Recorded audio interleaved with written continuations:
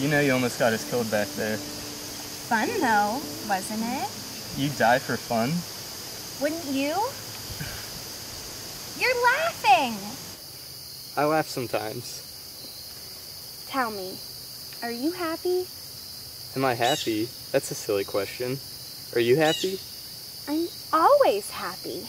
Unless I'm bored.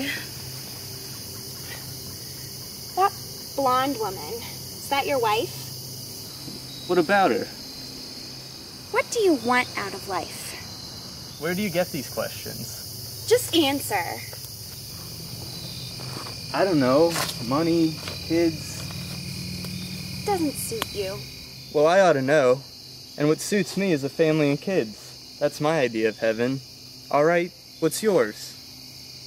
Room service. See? You're laughing again. But that's what I want. Need someone to share it with, though.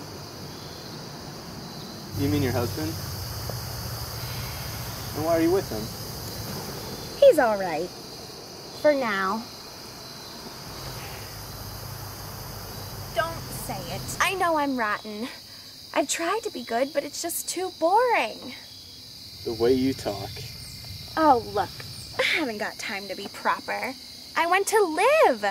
I'm a woman. I like men. If that's unladylike, then I guess I'm not a lady. At least I'm honest. Well, you're different. No arguing that. You're a lady, all right. And I'll take my oath on that.